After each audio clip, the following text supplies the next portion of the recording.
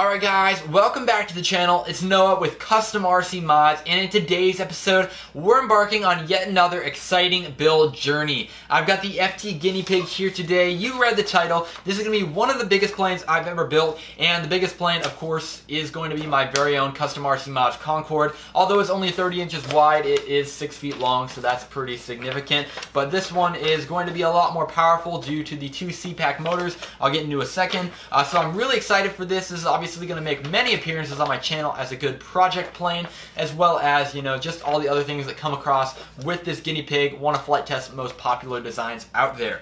Anyway, as you can see here, it's a little bit different than a lot of my builds. We're not starting here from the very beginning. I'm actually already four hours into this build because I've already cut out all of the foam pieces. Two hours for cutting out the paper, two hours for putting that into foam there, and here we are. Uh, it's really nice because now I feel like I have a little bit of weight off my shoulders. I'm about halfway through the scratch build process.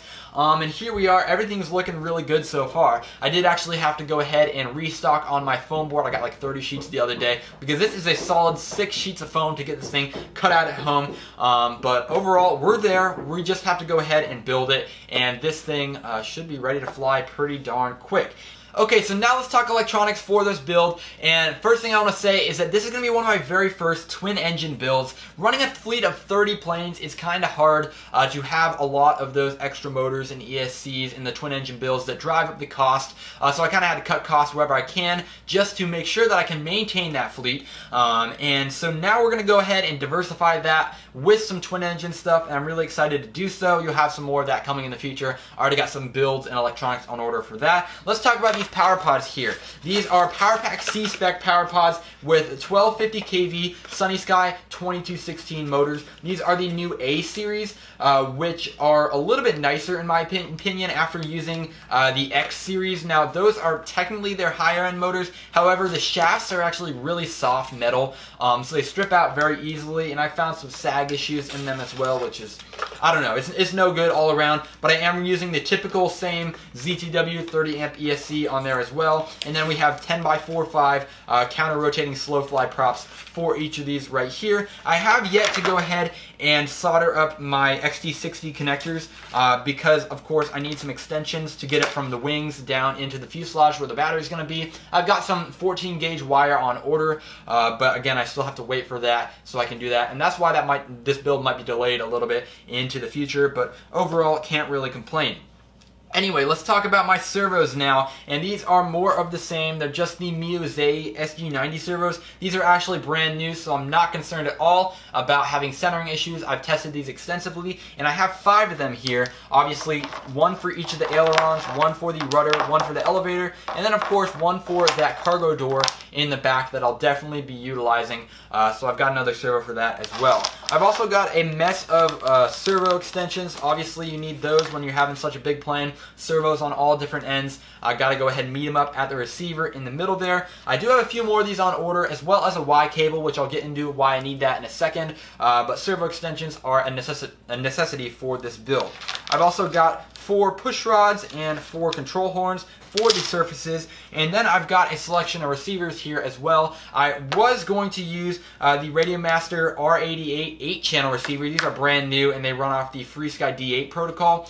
They're very nice receivers as I can see. Obviously, I haven't really tested them yet that much. Um, and for that reason, I'm going to go ahead and stick to what I know. This is a genuine Spektrum AR610. However, this is only a 6-channel receiver. So if you do the math, we've got our throttle. We've got two throttles. We've got two ailerons if we're going to run dual ailerons. And then, of course, we've got um, our cargo door and then our elevator and our rudder. And that's nine channels, or that's seven channels um, which is going to be too much for this, so that's why I need to go ahead and pick up a Y harness because I'm going to be using this, or again, I could just use this 8 channel and I'd have one extra channel to spare, but again, I'm going to go ahead and stick to what I know just to make sure we don't have any weird brownout issues or anything like that after putting so much time into a build. Now finally, let's talk about my battery setup here. Uh, I'm going to actually be running two different uh, configurations. I'm going to be running the 5000 milliamp hour three cell right here. This one's a Turnigy. It's an RC car battery. It's very heavy, but I, mean, I guess that's kind of what you expect. Uh, this is going to be good just to have a standalone single battery, but also if I have some extra 2200 milliamp hour battery, batteries, I can go ahead and run these two in parallel uh, to make a 3S 4400 milliamp hour battery.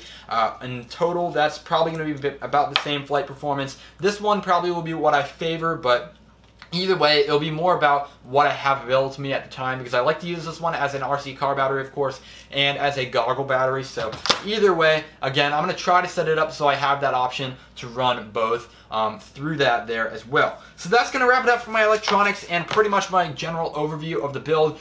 Pretty much everything that I've thought about right now is going to be pretty stock on this build. This is my first time uh, actually running, you know, building this all together, of course, so I don't have too many upgrades to make. Obviously, I haven't had a lot of first-hand experience with it, uh, so I'm going to do that, and then later down the road, we can make some modifications and upgrades as I see needed. So let's go ahead, waste no time, get on up to the time-lapse, where we can start building.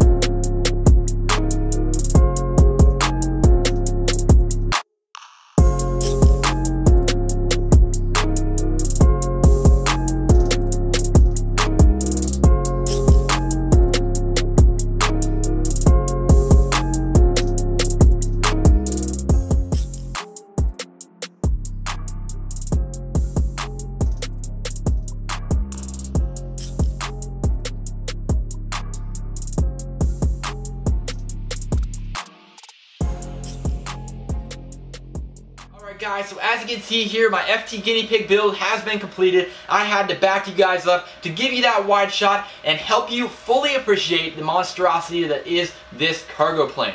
Now overall, I think that the build quality of this airplane is outstanding. Definitely one of my better builds, if I say so myself, which really does make sense. I put a little bit of extra time and care into this build, knowing that I'd want to keep it around and baby this thing. Hopefully, maybe even make it last for years, but again, it's foam board. I'm, I've got my expectations rather low.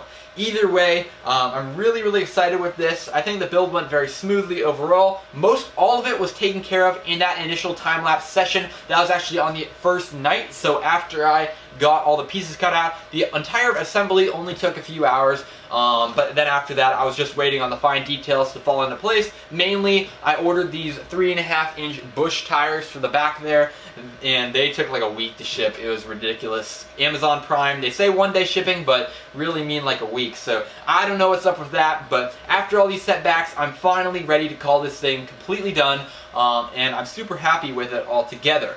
Anyway, let's go ahead and talk about this build in more detail. The design specifically here, we're going to talk about the things I don't like so much and also the places where I think this design really excels over the other planes that I've built. Now, first things first, things I don't like.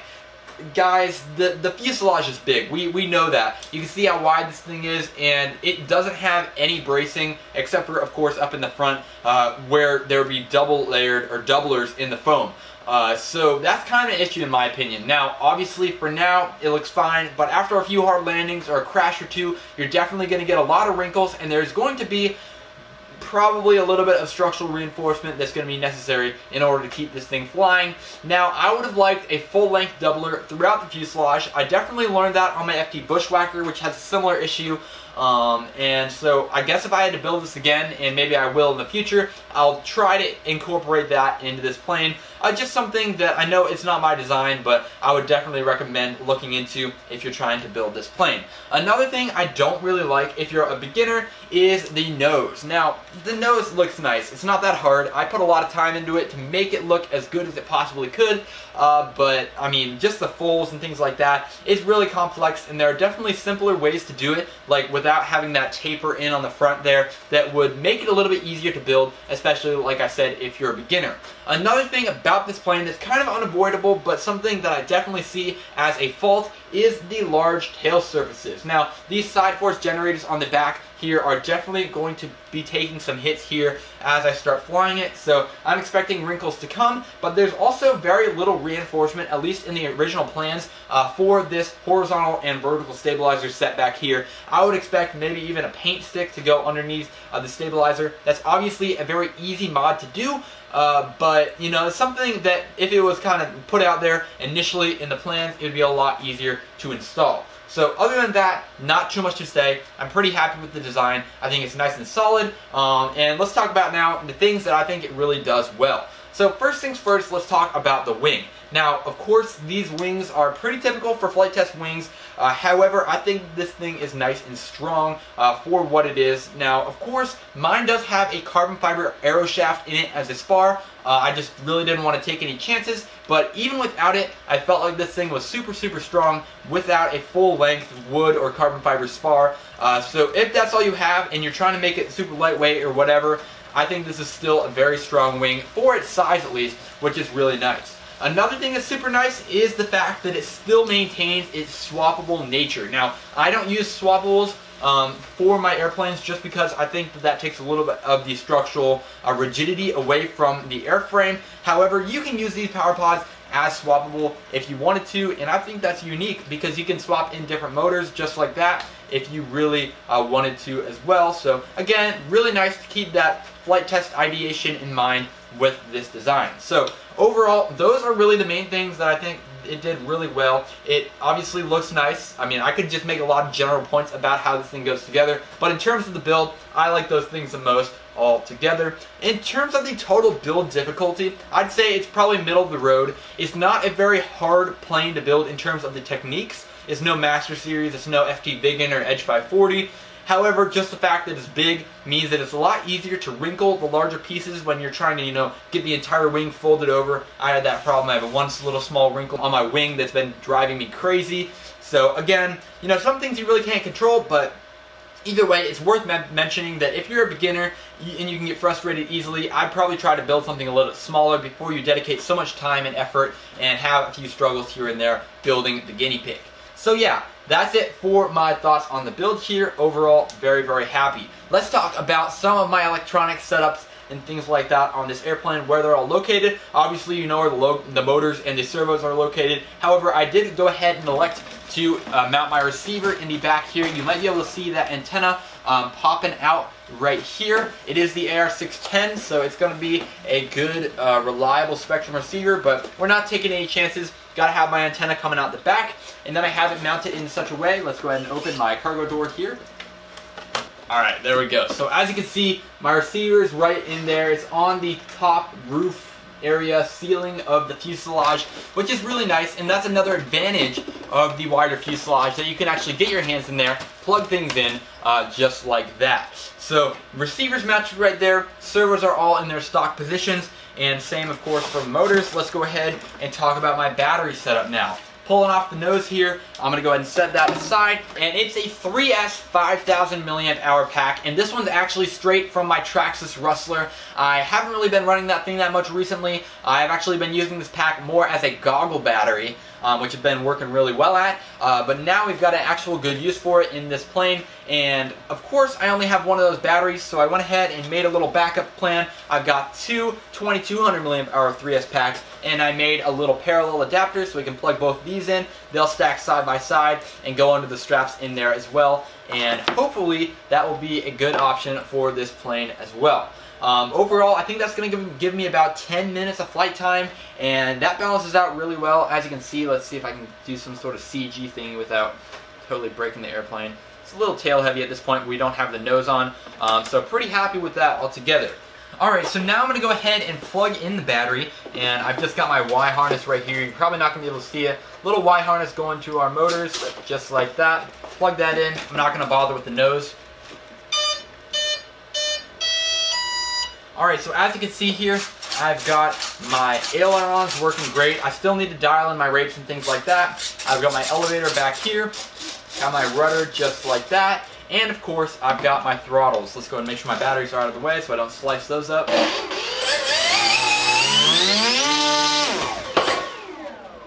Yeah, a lot of power lot of power. And also being a twin engine plane, I've also got my differential thrust setup. That's set up on this switch right here, so it's been off, but now as you can see, works just fine like that, and that's gonna be a godsend for taxiing on the ground. All right, guys, the last thing we need to go ahead and test before I wrap up this segment is the cargo door, and I did install that fifth servo down here, as you might be able to see. There's a small little arm there that holds the cargo door shut, and I've got a unique little spring mechanism that you'll see here in a second. I've got it tethered to this switch right here. And of course, the rubber band is held at tension when uh, the door is up and locked, but when it's released, that thing is flung open, and of course, everything inside the fuselage goes out of the airplane. So I don't know how well that's going to work up in the air. There's probably a lot of other factors that I'm not really thinking about. But hopefully it will be a consistent method of releasing the cargo door because that's definitely a unique feature that this plane brings to the table. Alright, so I think that's about everything I have to cover for this portion of the video. The next thing that we get to go out and do is maiden the airplane, which I'm obviously a little bit nervous for. This is get, definitely going to be the biggest, most powerful plane I've ever flown, which I'm really excited to do, but of course, if things go south, that's a lot of time that I put into this airplane that I really would like to have back. So either way, there's nothing to it but to do it, so let's go ahead and get this thing out and flying. All right, guys, so we just pulled up here out at the field, and it's time to go ahead and fly the FT guinea pig. Got my moral support assistant, um, Alexander. He's a veteran guinea pig flyer, so he says that everything's good to go. I'm not totally sure, but we're gonna find out here pretty quickly if this thing's gonna fly or not. CG's dialed. I think I got my rates where I want them, so I guess there's really not much else to do other than just to put it up in there. All right. You just sent that, jeez. Yeah. I'm messing around here. Hey, this thing flies like a beauty.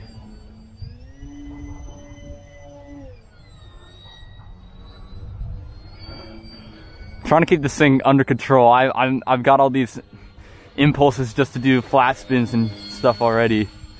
Just gonna, we're just gonna keep it nice and at least have one successful flight under before I start destroying it. But we're out here, field's kind of wet.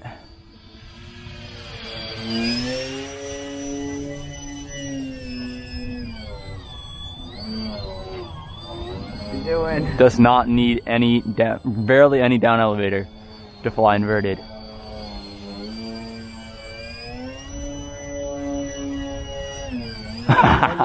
oh yeah. Negative G's on the first flight. I thought you were gonna push it all the way over. Oh no, I, I, I couldn't. I've had too many planes die by that. This thing's fun. Rates definitely could go a little bit higher. I mean, I'm not pushing a lot of stick, but I'm also running this battery by feel like I always do, which on a twin engine is not a good idea if you get down in your low voltages, so. Whew.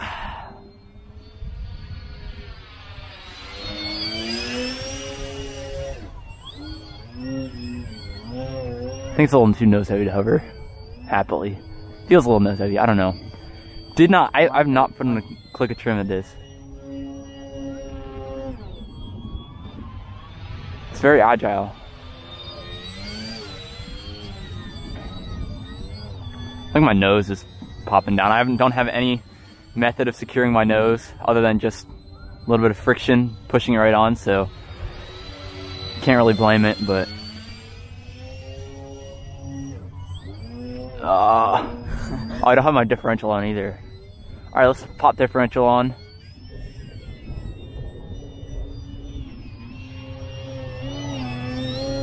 not really in flat spin territory yet, but definitely is helping with the yaw.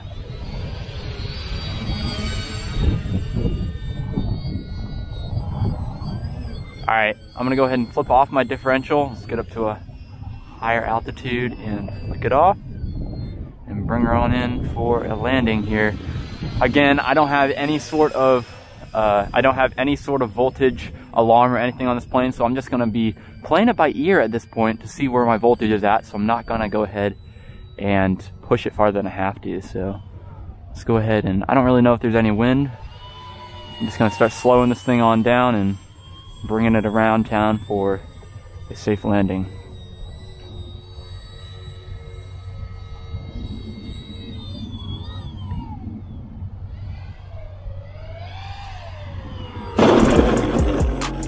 Oh, there we go, that'll do.